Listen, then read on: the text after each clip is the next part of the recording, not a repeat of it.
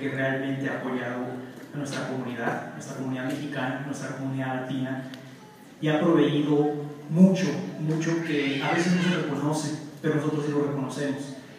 El apoyo que nos ha brindado no solamente es a nuestra comunidad empresarial, pero lo hace para nuestras familias. Es un hombre que ha tenido un liderazgo que tremendamente ha afectado positivamente a nuestra comunidad. Y para mí es un gran placer eh, presentar este reconocimiento para el señor alcalde del condado de Salt Lake City, Ben McAdams.